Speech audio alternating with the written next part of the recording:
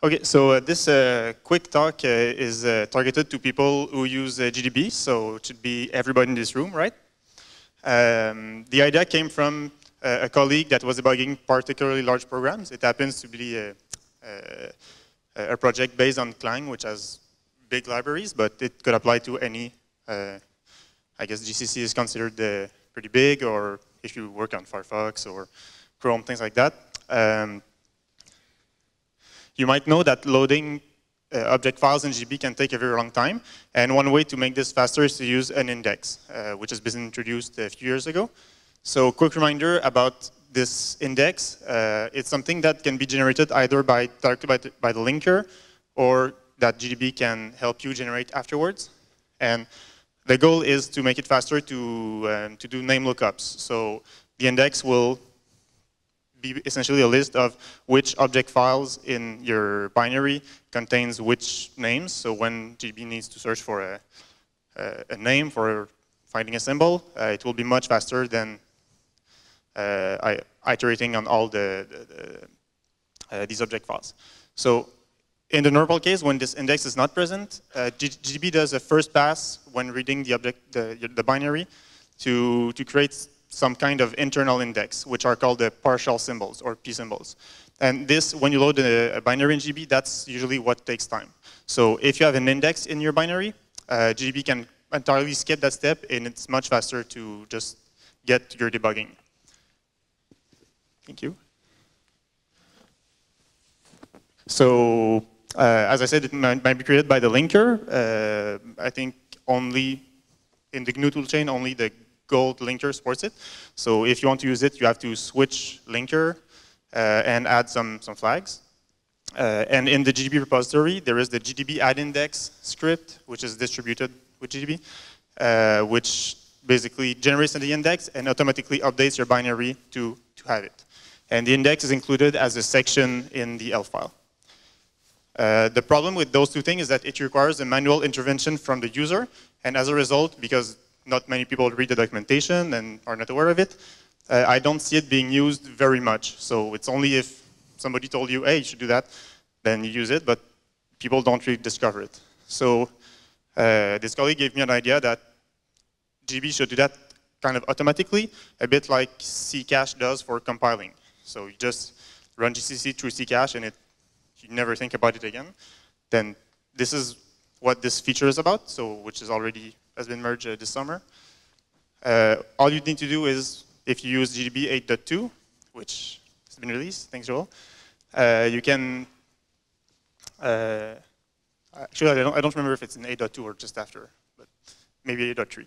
Uh, all you need to do is add set index, set index cache on to uh, ideally your GDB init file, so you don't need to do it every time. And what this does is when GDB opens a file that does not contain an index, it will save the equivalent of that GDB index section in your, by default in your home directory, so in the .cache folder. And the next time GDB will load that same file, uh, it will first look up, is there an index in the file itself? No. Then it will look up in that directory, is there an index there? And if so, use it. So it's quite straightforward. Uh,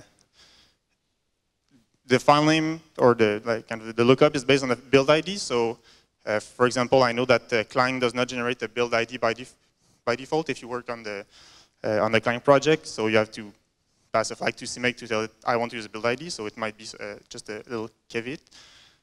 Um, but otherwise, I've been using that feature for almost a year because it was like I did locally and I didn't really have a problem and you basically enable it and forget you have it and just makes GDB faster.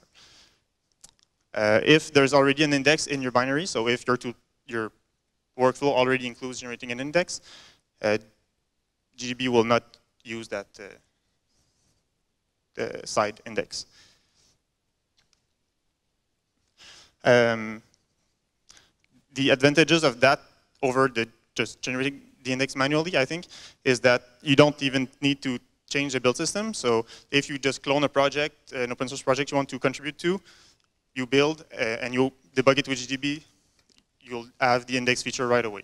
So you don't need to find out where in the make file do I need to stick these flags or things like that. It just, just works.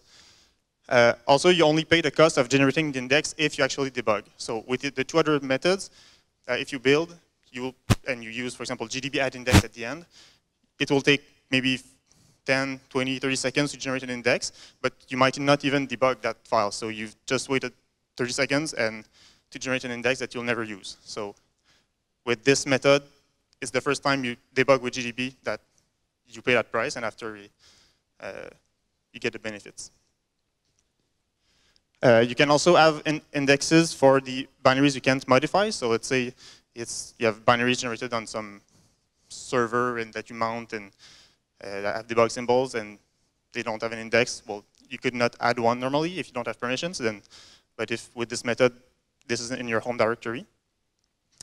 Uh, if I if you have to think about uh, disadvantages, uh, you wait a bit more time the first time you want to debug. So if you use it you know you use the often, the index often, uh, for a project you contribute to a lot, then it makes sense to take the time to have the linker maybe generate it or have your, at the end of your build, do it.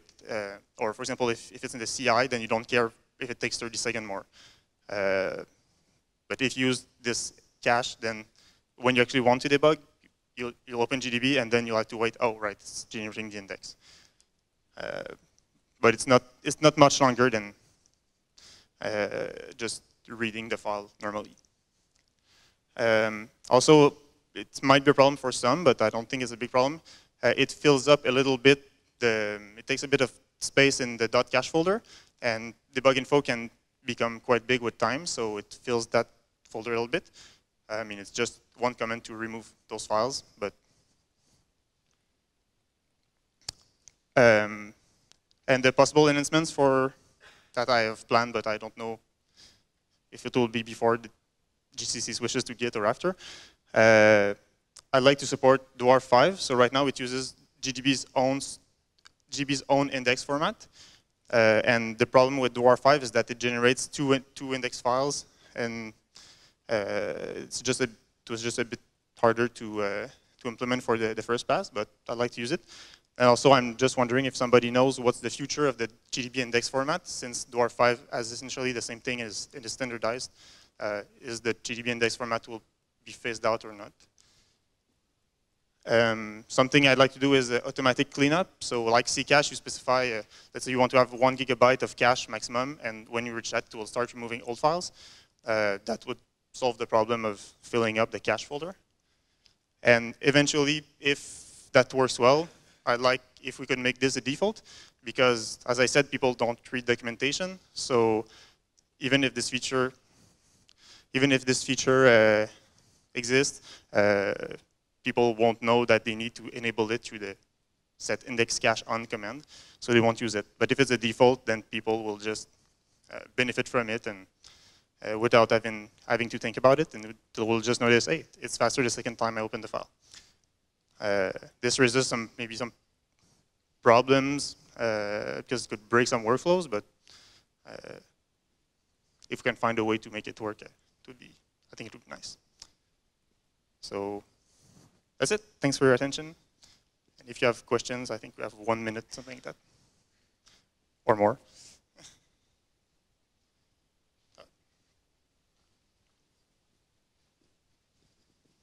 It seems like a great idea. Did you think about creating it lazily to avoid the time penalty when you first engage it?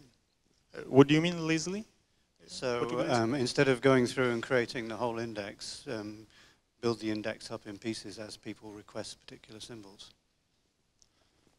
Um, so right now it's, it just uses the same method as when you generate the whole index to put in the file. So it, yeah, it creates the whole so you would mean it only create the, the index files for those. Uh, I'm not sure I understand your suggestion. Well, maybe you're already doing it if you're only creating it per file, but basically um, uh, defer the creation of the index until a, a symbol is requested.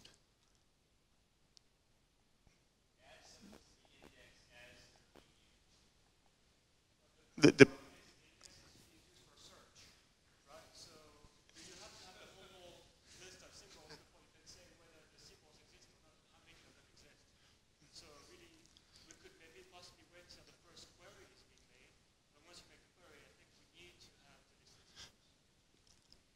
Okay, yeah, indeed. So the, the whole of the index is used all the time because when you search, when you put a breakpoint on the hello function, break hello, uh, it needs to search in all the uh, compilation units. Is there a function that matches this? So we use the whole of the index all the time. So there's no real, I don't, I don't think there's a, a way of saying, oh, we just need this part of the index.